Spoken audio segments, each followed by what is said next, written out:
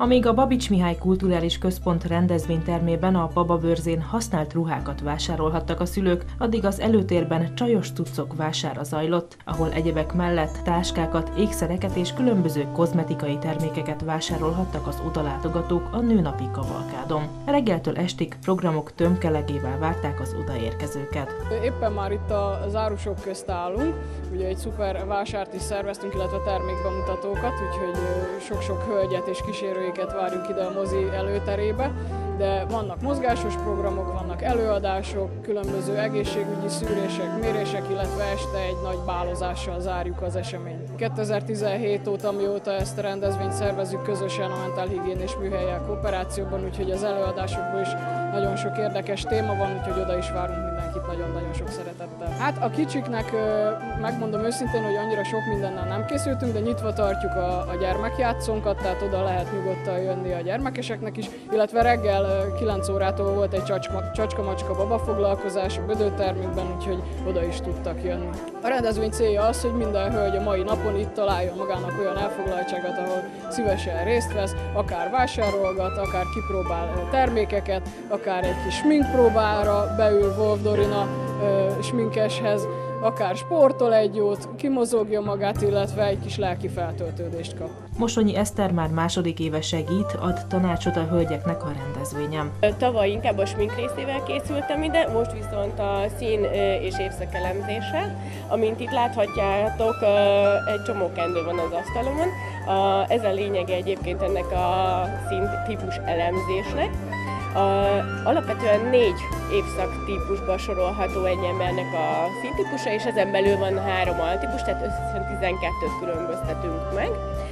Amiért fontosnak tartom ezt a színtípus elemzést, az az, hogy ad egyfajta magabiztosságot a, a, a nők többségének, egyébként nem csak nőkön, hanem férfiakon is tökéletesen működik, és már egyre elfogadottabb, sőt most már annyira, hogy multicégeknél is, vagy, vagy kisebb cégeknél is, akár az állásinterjúra, akár egy randira, de akár ha csak a, minden, a hétköznapokat veszük alapul, akkor is nagyon sokat számít, hogyha belenézünk a tükörbe, és a nem megfelelő szín van rajtunk, hogy az sárgásan vagy pirosan tükröződik az arcunkon, sápaszt vagy szürkít, ez abszolút nem mindegy. Hogyha például állásinterjúra megyünk, és megfelelő szint veszük fel, ad egy magabiztosságot, a kisugárzásunk teljesen megváltozik tőle, plusz sokkal jobban érezzük magunkat a bőrünkben. Akik megkeresnek, azoknak a nagy része vagy önbizalom hiányban szenved egy kicsit, azért mondjuk mindig mondják, hogy ez a szépségipar, ez kicsit ilyen pszichológia is, de ez, ez teljesen igaz, és nagyon-nagyon-nagyon jól lehet a nők önbizalmát visszaadni egyébként. Hideg és meleg színeket különböztetünk meg, a tavasz és az ősz a meleg színek, és a tél és a nyár a hideg színek. Mutatom, ezek például a tavasznak a színei, itt mindegyiknek megvan a maga pirosa, rózsaszínje, zöldje, itt mutatom a nyárnál is, a lilákat például, a szürkéjét, a húszszín, és akkor itt mutatom az őszszíneit, amik általában mennek ebbe a, a téglás, a bordós, az olajzöld és a barnás színekbe, és akkor itt mutatom a téltípusokat, amik meg ezek a hideg hideg élénk színek. Elég vegyes, mert van, aki már úgy jön, hogy mindig van egy 12-es uh, paletta, arra így rá szoktuk bökegen, hogy válassza ki, hogy neki melyik paletta tetszik, és azért jó részen egyébként jól határolják be, hogy ami tetszik neki, és azt szereti is viselni, viszont volt már olyan, hogy, hogy teljesen mellé nyúlt.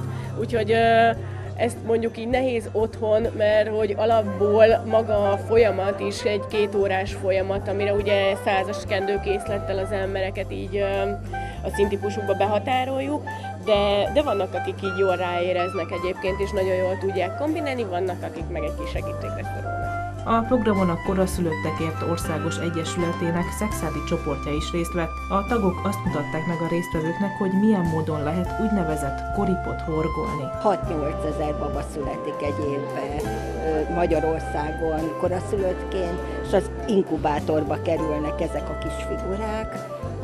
Ez az első játékuk a babáknak. Ugye ennek megvannak a szigorú szabályai, hogy hogy lehet őket horgolni, speciális fonalból nyálállónak százszázalékos pamutnak kell lenni.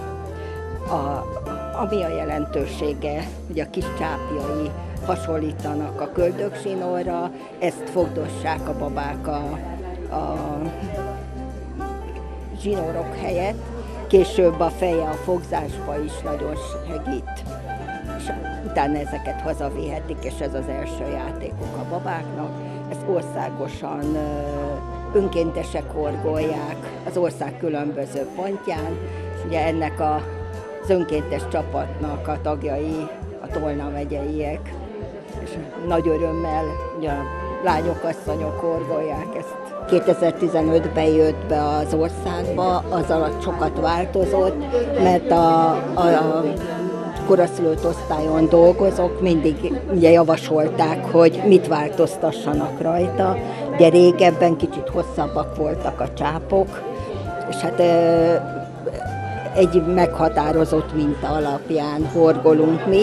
Ugye most éppen itt a fejénél tartok. Mikor készen vagyunk, meghorgoltuk a csápot, ugye belehímzünk egy kábetűt, ezzel vállalja az Egyesület, hogy ez megfelel a, a koraszülött babáknak, utána harisnyát teszünk bele, és vatelinnel kitömjük, nagyon keményre, hogy, mert később megpuhul. Úgyhogy ez kerül be a, a utána az inkubátorba. A már hagyománynak számító nőnapi kavalkádon az biztos, hogy minden a hölgyekről szólt. Ezen a hangrelaxáción voltam, hát ez csodálatos. Most aludni kellene, kikapszolja az ember.